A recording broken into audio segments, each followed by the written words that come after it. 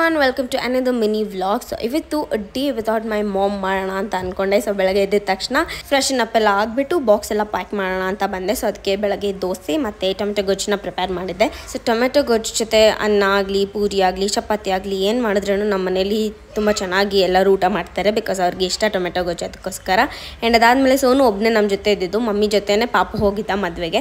So ಅದಕ್ಕೋಸ್ಕರ ಇವತ್ತು ಸೋನನ್ನು ಮಾತ್ರ ರೆಡಿ ಮಾಡಿದ್ವಿ. ಅದಾದಮೇಲೆ ವಿ ಲೆಫ್ಟ್ ಹೋಮ್ ಸೊ ಬಿಡೋಗ ಮಮ್ಮಿಗೆ ವಿಡಿಯೋ ಕಾಲ್ ಎಲ್ಲ ಮಾಡಿಬಿಟ್ಟು ಮಾತಾಡ್ಸಿದ್ವಿ. ಮತ್ತು ಮುಹೂರ್ತಕ್ಕೆ ಹೆಂಗೆ ರೆಡಿ ಆಗಿದ್ರು ಅಂತೆಲ್ಲ ತೋರಿಸ್ತಿದ್ರು. ಮತ್ತು ನಮ್ಮ ಮಾಮನ ಮದುವೆ ಇತ್ತು. ಸೊ ಅದಕ್ಕೋಸ್ಕರ ಅವರು ಮೂರ್ತನ ಅಟೆಂಡ್ ಮಾಡೋಕೆ ಅಲ್ಲೇ ಇದ್ದರು ಆ್ಯಂಡ್ ಬೆಳಗ್ಗೆ ಬ್ರೇಕ್ಫಾಸ್ಟ್ ನಾನು ಯೂಸ್ಲಿನ ತಿಂದೆ. ಮತ್ತು ಲಂಚ್ನ ನಾನು ಪ್ಯಾಕ್ ಮಾಡ್ಕೊಂಡಿರಲಿಲ್ಲ. ನನಗೆ ಅದಕ್ಕೆ ನಾನು ಮಟನ್ ಬಿರಿಯಾನಿ ಮತ್ತು ಚಿಕನ್ ಪೆಪ್ಪರ್ ಡ್ರೈ ಎಲ್ಲ ತಿಂದೆ. ನಮ್ಮ ಕಾಲೇಜ್ ಹತ್ರ ತುಂಬ ಚೆನ್ನಾಗಿರುತ್ತೆ ಇದೊನ್ನೇ ಬಿರಿಯಾನಿ ಹೌಸಲ್ಲಿ ಅದಕ್ಕೆ ಅಲ್ಲಿ ತಿಂದೆ. ಅದಾದ್ಮೇಲೆ ಮನೆಗೆ ಬರೋಷ್ಟೊತ್ತಿಗೆ ಲೇಟ್ ಆಗಿತ್ತು.